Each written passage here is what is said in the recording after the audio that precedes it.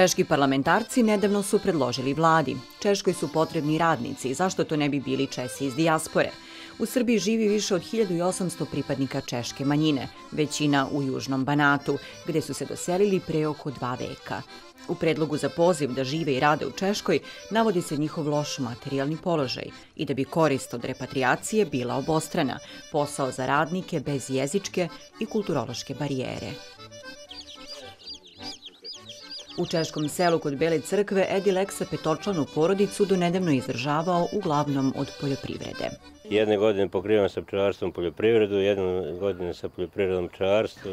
Zato bi da krene za sinom i njegovom verenicom koji već pola godine rade u fabrici gramofonskih ploča nadomak Praga. Odobren mi je posao tamo, kako se zove, sad sam bio u konzulatu da predam zahteve za radnu vizu, zajedno sa čerkom, pošto je ona isto konkurisala tamo, dobila isto radno mesto. U Češkom selu živi manje od 40 ljudi, uglavnom Čeha. Ovde je 20 kuća u tri ulice, Vaclava Havela, Jana Husa, Masarikovoj. Do 70. godina prošlog veka imali su školu, u kojoj je sada etnomuzej. Škola u obližnjoj Kruščici uz pomoć češke vlade ima nastavu češkog i centralno grejanje, pokriveni teren, kanalizacionu mrežu. Jozef nema nameru da se seli. Da nije dobro, ne bih gradio kuću ovde, ali znamo i za bolje dane, ali šta da reći, tu smo i kao što se odlazi u Austriju i u Nemačku, tako i u Češko, pošto je zna se jezik i koliko toliko znamo jezik i onda odlaze mladi, šta ja znam, ali nije to neki baš veliki broj. To potvrđuje i Darko Veseli. Prošle jesenji radio je u Češkoj fabrici, nada se da će uskoro ponovo. Svidjela mi se i plata i sve, ljudi, društvo, šef kao firma, sve, sve ok, nemam primedbe. U Kuruščici živi oko 900 stanovnika, većinom Čeha. U tamošnjem udruženju Češka beseda veruju da i posle 200 godina na ovim prostorima ima razloga da tu i ostanu, a oni koji odlaze to čine privremeno. Radimo na tome da, da ti mladi ljudi ostaju kod nas, a ne da idu negde u neke zemlje, čak i ako, ako smo poreklom Česi, što ne bismo na neki način ovde razvijali naš prostor koji je veoma dobro infrastrukturno opremljen, pa da, da na neki način spasimo to selo. Zato su se poljoprivredni proizvođači okupili i obnovili seosku zadrugu. Isplatilo im se, kažu, a selo očekuje i investicije u voćarstvo. Prvo što je počelo, to smo napravili vagu. Posle vage smo napravili magacin, polako, eto to svake godine po nešto. I ove godine ćemo da ga još produžimo za desetak metara. I prošla godina je bila, imali smo sreće, bila rodna godina, pa je bilo dosta robe, automatski čim imamo dosta robe, ostaje veća provizija. I eto, sad smo stvorili neki fond da imamo neku sigurnost. Mi smo mahom poljoprivredni kraj, e, obrađujemo nekde oko 2500 hektara obradivih površina. E, mahom se gaji kukuruz, pšenica, e, to su osnovne, i suncukri, to su osnovne kulture, a od tih 2500 hektara, otprilike 250 hektara imamo pod voćnicima. E, jabuka i šljiva i tu vidimo Naravno, stvar ima breskve, ima kruške, ima kajsije i tu vidimo veliku šansu u smislu znači otvaranja nekih preradnih kapaciteta, znači i ovaj, na taj način da pokušamo da ovaj, zadržimo omladinu u selu. Glavna briga Češke besede u Beogradu je zgrada nacionalizovanog Češkog doma, svedočanstvo o velikom uticaju Čeha na život i kulturu srpske prestonice, ali koju potomci onih koji su je sagradili ne mogu da povrate. Iako je ovo jedan od zgrada koje su naši preci napravili za, na korist svih Beograđana i na korist jednog kulturnog razvitka ove sredine, a ona se danas ne samo da se ne koristi u te svrhe, nego se koristi u neke sasvim druge komercijalne svrhe. U Češkoj ambasadi za taj problem znaju, ali kažu pomažu tamo gde mogu. Pomoć češkoj dijaspori se ne odnosi samo na angažovanje češke vlade i ambasade, već se razvija i saradnja čeških regija i oblasti u kojima živi dijaspora. Postoji mnogo kontakata na nivou pojedinih opština i udruženja, a raste interesovanje Čeha da posećuju Južni Banat turistički, jer je tamo krajolik prelep, a našim ljudima je interesantno da upoznaju tu sredinu. O pozivu na repatriaciju podsjeća ambasadorka Hlavsova, češka vlada je odluku donela pre nekoliko godina. Po njoj bi pripadnici češke dijaspore po jednostavnijoj proceduri mogli da dođu do stalnog boravka. Od poziva poslanika da se ona i primeni, ambasada ne beleži veće interesovanje Čeha. Mi vidimo interesovanje srpskih državljana, ali nema značajne razlike u zahtevu kod pripadnika češke manjine u odnosu na ostale državljane Srbije. Rekla bih da je to proporcionalno podeljeno. Smatram da naša zajednica kao Česi Srbije ima jednu posebnu vrednost i da bi bila velika greota ne samo za Srbiju da ostane bez svojih Čeha, nego i za Čehe Srbije da ostanu bez svoje države trenutne. U ambasadu je za prethodnih godinu dana stiglo 10 zahteva za potvrdu pripadnosti nacionalnoj zajednici. Potvrdu za stalni boravak tražilo je dvostruko manje.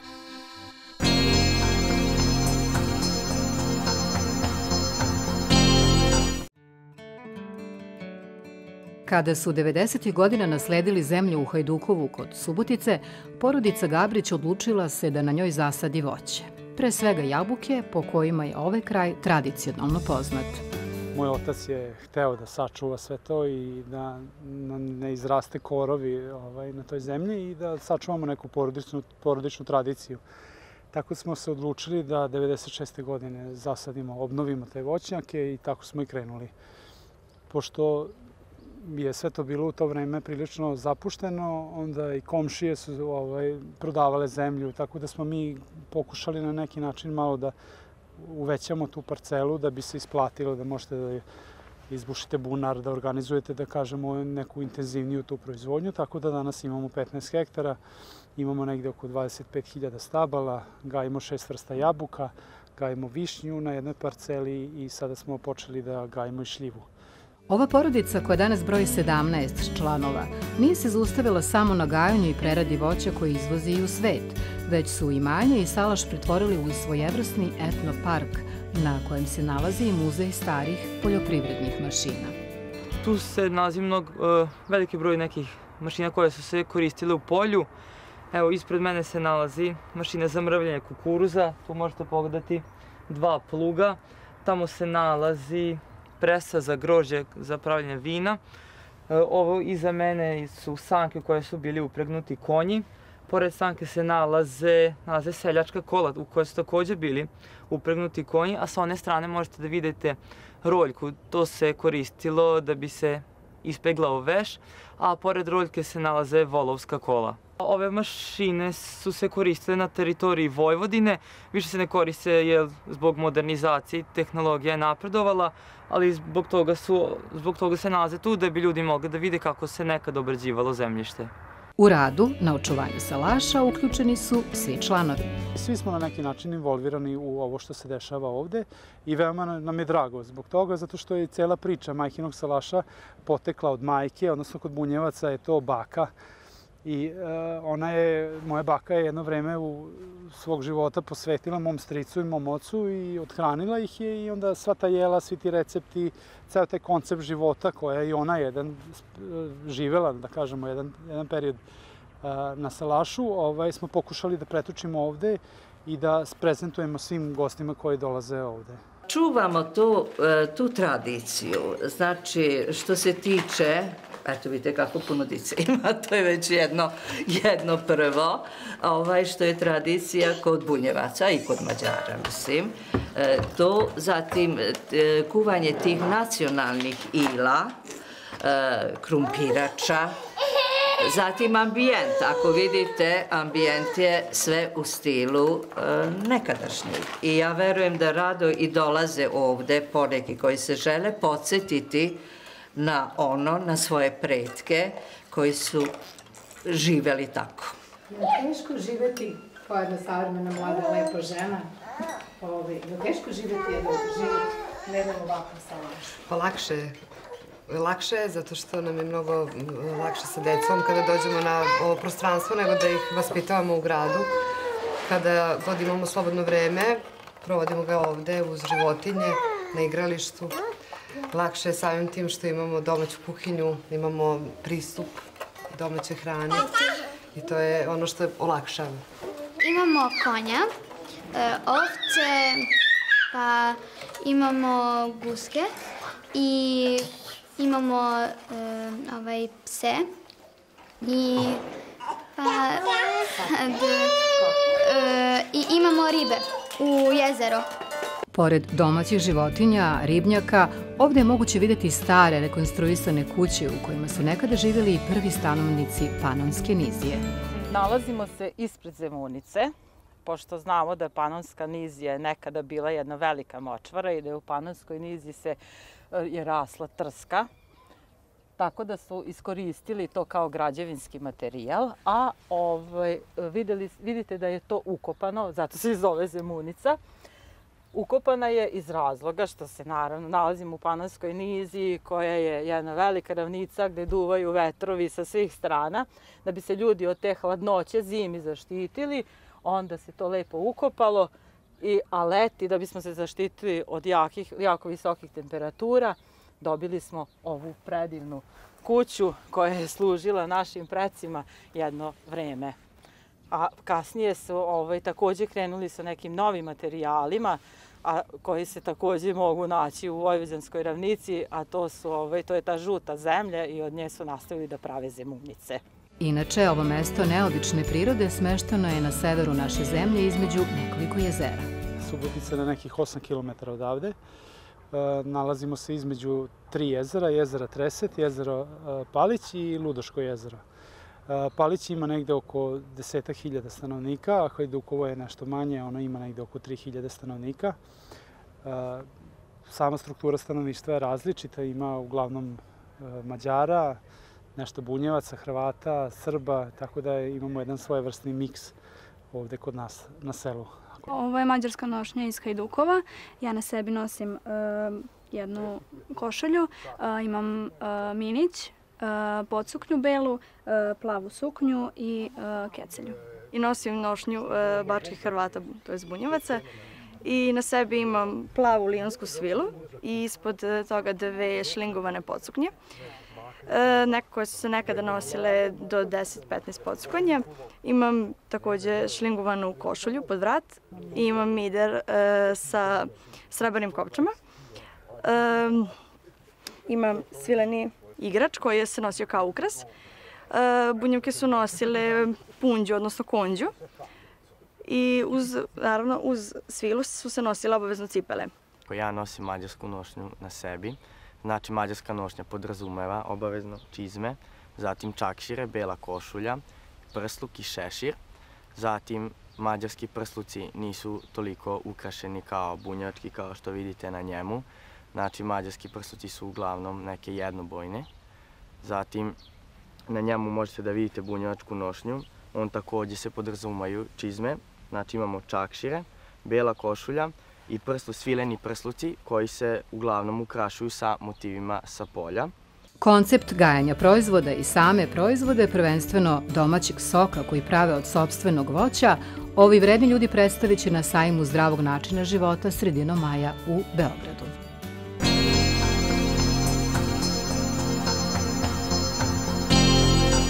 Rođeni Beograđanin, nekada Ivan Trifunović, danas mufti Abdullah Numan, kaže da bi u Srbiji danas voleo da vidi jednu zajednicu i jedno društvo bez podela, ali u kojoj se čuvaju različitosti.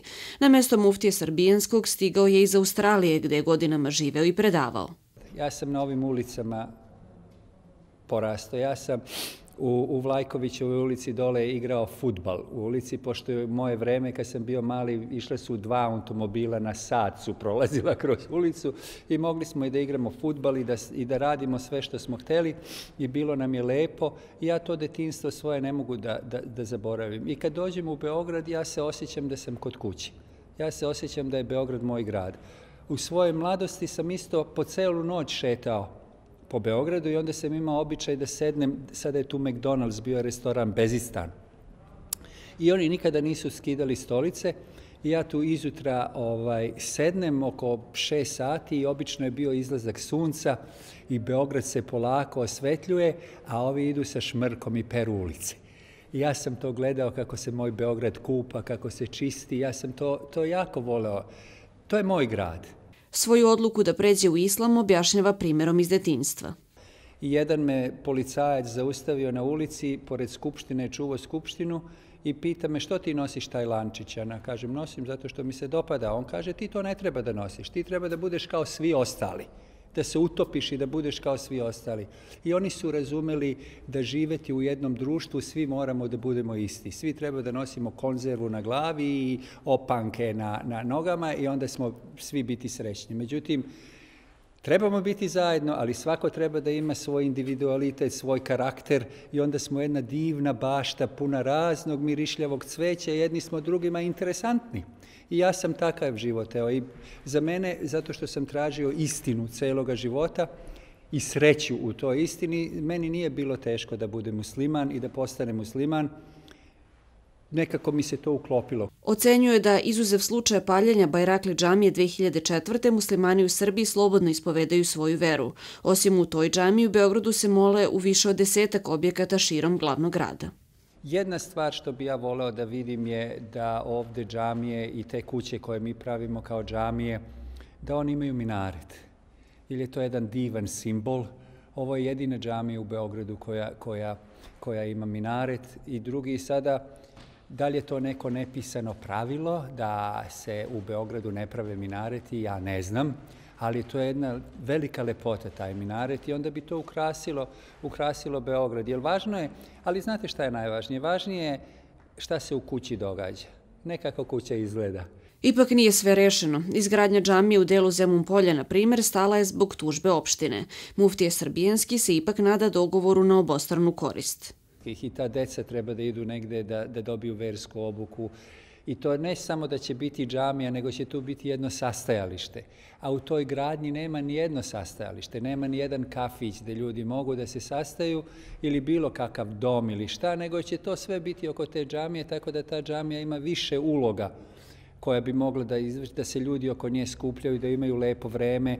I čak smo sada dobili e, onaj balon. Ja, i to bih želeli da postavimo tu, tako da mogu se tamo baviti sportom. Ima i onih pitanja na koje Islamska zajednica Srbije godinama čeka odgovor gradskih vlasti.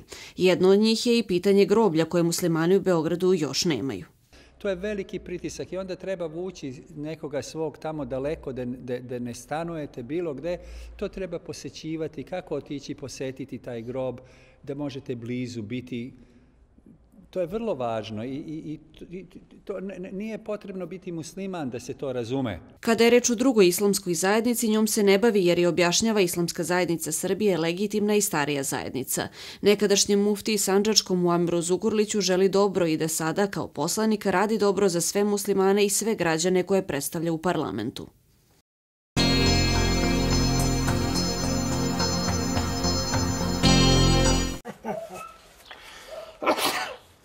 Orfolyás tüsszögés és szemirritáció. Ezek a pollenallergia tipikus tünetei, de szélsőséges esetében akár a fulladás veszélye is fennállhat a betegnél.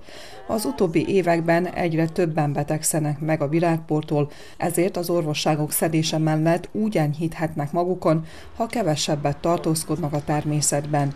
Erős Lászlónál egy éve jelentkeztek az első tünetek. Amíg ez nálam nem jelentkezett, nem is tudtam elképzelni, milyen az, amikor az embernek az orra rajtaütésszerűen hirtelen elered, vagy hirtelen tüsszögni kezd, és ezzel, ezzel, ezzel nem tudtam mit kezdeni, csak uh, utóbb derült ki, hogy ez igenis allergia, méghozzá olyan allergia, ami uh, azt eredményezte, hogy kevesebbet tartózkodhattam és tartózkodhatok a természetben, abban az időszakban, amikor rengeteg a pollen. Az interneten néztem utána, hogy ez mit jelenthet. Ott tudtam meg, hogy ez lehet allergia, pollenallergia, vagyis szénallergia esetleg, és aztán beszélgettem orvosokkal is, de hivatalosan orvosnál vizsgán még ezzel nem voltam. Bár minden tünet arra utal, hogy ez igenis az. A betegek életvitele gyökeresen megváltozhat, amennyiben túlérzékenységet szereznek a virágporra, ugyanis nem tudni mikor és hol jelentkezhetnek a tünetek. Még amikor nem is gondoltam, hogy lesz vagy van pollen a levegőben, akkor az én szervezetem már jelezte, hogy valami van a levegőben. Hirtelen elerett az orrom, és ez az én szakmámban nagyon kellemetlen, mert akár a stúdióban is megtörténhet vele hogy rajtaütésszerűen ered az orrom, vagy arra is volt már példa, hogy mondat közben tüsszögni kezdtem. Itten ezen a naptáron látszik, hogy mely napokon nagyon magas a pollen koncentráció. Azt, hogy a levegőben mekkora pollensűrűség, az Újvidéki Egyetem biológiai karán működő laboratóriumban követik, és az eredményeket weboldalon, valamint applikáción keresztül továbbítják. Így a betegek azt is kísérhetik, hogy milyen pollen koncentráció várja őket az elkövetkező napokban. Juhász Attila is rendszeres használója az alkalmazásnak. Nem nehéz kezelni, szóval eléggé egyszerűen meg lehet találni a dátumokat, a, a pollentípusokat, hogy melyek, melyikek lesznek aktuálisak, úgyhogy attól függően, hogy most ki melyik típusra allergiás, az, az akkor úgy tudja, visel, tud viselkedni to se prilično dobro osjeti tih dana kada, kada... A laboratóriumban, amely működését a Városi Környezetvédelmi Bizottság és a Tartományi Városrendezési Titkárság pénzzel már több éve folynak mérések. Az eredmények lényegesen megkönnyítik a betegek helyzetét. Oni koji su mm, alergični i koji, ima, koji osjećaju simptome, oni vrlo dobro znaju da e, praćenjem koncentracije polena u vazduhu mogu u značajnoj meri sebi da olakšaju život, odnosno da umanje simptome i praktično da poboljšaju kvalitet svog života. Ova vrsta trava počinje da cveta i svi povezuju Az újvidéki laboratóriumban Európai Uniós követelmények szerint történik a levegőben található pollen sűrűség mérése. Većina evropskih centara u suštini meri na, na isti način sa tim nekim hirstovim aparatima uzimaju se uzorci, dnevni uzorci vazduha koji se obrađuju, laboratorijski se obrađuju i praktično se e, određuju e, tipovi polena koji se nalaze u vazduhu i određuju se njihova koncentracija u vazduhu. Na osnovu toga se određuje rizik za nastanak alergijskih reakcija. Osnovna ideja je da ta informacija stigne do građana i u tom, u tom informisanju javnosti značajno značajnu podršku i su nam pružili i Gradska uprava za zaštitu životne sredine i pokrenjski sekretarijat za urbanizam i zaštitu životne sredine. Oni naime plaćaju finansiraju merenje koncentracije polena i informisanje javnosti. Mi tu informaciju obrađujemo, postavljamo na sajt i na taj način ona postoje dostupna, do, dostupna građanima. Jedan od tipova prikazivanja rezultata je e, postavljanje alergijskog semafora, znači to su podaci koji govore o tome kakve su koncentracije ili kakav je rizik za nastanak alergijskih reakcija na različite tipove polena bio u proteklom periodu, znači sedam dana unazad. A pollenek egyrészt szénanáthát, másrészt asztmás tüneteket okozhatnak. Ha időben felkészülünk az ebből adódó kellemetlenségekre, nagy mértékben csökkenthetjük a tüneteket. A kezeléseknek is többféle módja van. Alergijske kijevice se vrlo uspešno leče akupunkturom, vrlo uspešne do izlečenja. No, to je proces koji potraje, ali zato osoba koja to odradi ima tu korist da više nema alergijsku kijevicu. Može se pomoći e, i lekovima, naravno. Lekovi privremeno pomažu, tako da i to jeste vrsta pomoći. Može se homeopatski lečiti. Olyan nagy mennyiségben keveredik azzal a az allergénnel, amit én. Dr. Sétáló József tüdőgyógyász szakorvos szerint az allergia és a szénanátha kialakulásának az esélye több rizikófaktor együttese. Lényeges dolog az, hogy benne van a genetika is, benne van egy, egy pszichés állapot is, benne van egy hát környezeti lényegesen benne van a környezeti tényezők, amelyek nem csak a, a, a környezetre hatnak ki és rontják azt, e, hanem a szerv, mi szervezetünkre is, tehát akkor az immunitásunk is benne van, az immunitásunknak a gyöngesége, tehát ez így kompletten, ahogy elmondta, e, nagyon is egy ilyen, ilyen, ilyen pszichés is, de ugyanakkor hát ö, ö, konkrét ö, allergia ö, betegség formájában is. Ha már tudom, hogy van, akkor adjak kellő minőségű és kellő mennyiségű terápiát és kellő hosszúságú terápiát, mert e, hamar jól fog majd, jól fogja magát érezni, vagy hát reméljük, hogy hamar jól fogja magát érezni, és akkor jó százaléka abba hagyja terápiát, és ez nagy hiba. Szóval azt nem szabad abba hagyni, leginkább mi megmondjuk, hogy kell három hónapig szedni, és három hónap múlva kérek egy allergiát, hogy megnézem, hogy hogy néz ki, milyen a tüdőkapacitása. Nem allergiatesztet kérek, csak kontrollás, kontrollát, hogy, hogy mi történik. És akkor Hát akkor beszámolnak róla, ugye, hogy meghallgatom, és stb. És lehet, hogy kell folytatni, lehet, hogy eljött az idő, hogy lehet szünetelni. A mi környezetünk, a mi szervezetünket e, legyöngíti, és ezért e, hát ez olyan dolog, hogy a gyógyítást e, nehezíti. A megjelenési százalék az nő, és sokkal-sokkal több allergiás, aszmás, nem lesz mindenki más, aki allergiás, ugye? kétség kívül van, akinek csak minden évben az óra folyik, és nem tudja, hogy miért, de folyik az óra, ugye? és akkor stb. De, de mind több és több jelentkezik, köszönve ezeknek a, a környezeti és hát a szervezeten belüli elváltozásoknak.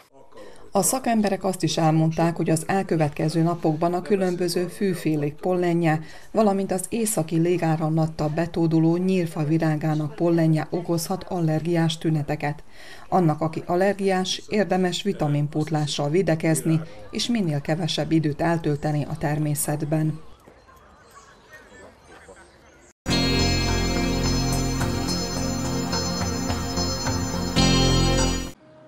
U znak zahvalnosti za besplatne i brze preglede bez zakazivanja na Vojno-medicinskoj akademiji u Sofiji, građani Bosilegrada dva puta godišnje od 2008. godine organizuju dobrovoljno davanje krvi za potrebe te zdravstvene ustanove u Bugarskoj.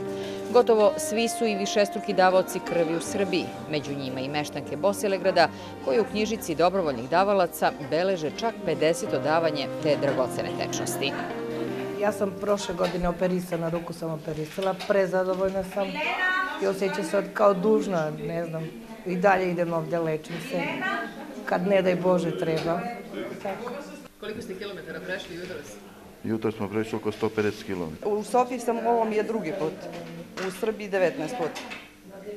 I kako se osjećate sada? Odlično.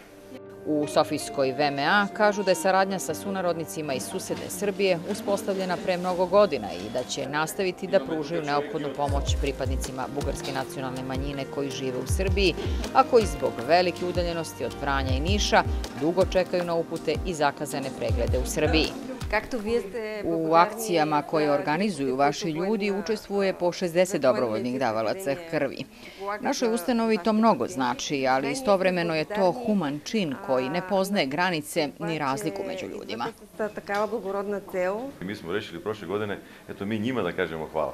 Tako da na njihov dan Vojno-medicinske akademije 1. decembra i jedna prolečna akcija što je sada i među 50 i 60 ljudi dođu, dođemo dobrovoljno, eto damo krv da im kažemo Hvala vam od srca, eto vi nama mnogo, vi vama makar malo ono što mi imamo od sebe za vas. Uvijek se rado odazivam ovakvim akcijama i ne dolazim iz Rada, ne dolazim iz Srebrenice. A trenutno sam radim tu na montaži jedne flotacije Rada. Pa sam čuo od gospodina da je veliki aktivista ovako ovih akcija, onda sam i ja e, želio da dam svoj skroman doprinos ovome. Eto, odazvali smo se na ovaj poziv je humano dati krv, da li ovde, da li u Srbiji, u Beogradu, bilo gde. Zdaje se jedna mnogo dobra tradicija. Ovo je dobra tradicija. Svima kažem hvala jer spasavaju veliki broj naših pacijenata. 160.000 ljudi u Bugarskoj godišnje da ovde krv. Tradiciju bugarskog naroda koji živi u rasejanju, žitelji malog Bosilegrada koji je od Sofije udaljen nepona dva sata vožnje, pokazuju na svakom koraku, pa i u krugu bolnice u kome su na tradicionalni doručak iz njihovog kraja pozvali zaposlene lekare na Vojno-medicinskoj akademiji. Zelnik, koje su pripremile domaćice iz Bosilegrada, tako se našao u centru pažnje iz zaposlenih, ali i pacijenata u toj velikoj zdravstvenoj ustanovi. Veško je kada radimo i činimo nešto dobro za ljude kojima je neophodna pomoć i kada na njihovim licima vidimo zadovoljstvo, onda znamo da činimo pravu stvar. Znamo da naša braća u Bosilegradu žive u siromašnom kraju, ali su im duše bogate. Humani su i mi to znamo da cenimo. Bratska obič Nedavno je blizu Bosilegrada, koji je najbliži bugarskom Ćustendilu, otvoren granični prelaz za kamione, ribarci, od koga ovi ljudi koji žive u malom mestu na krajnjem jugoistoku Srbije očekuju mnogo. Prolaskom teretnog saobraćaja kroz njihov kraj veruju da će imati koristi, ali i one zainteresovane za otvaranje pogona i zapošljavanje radnika.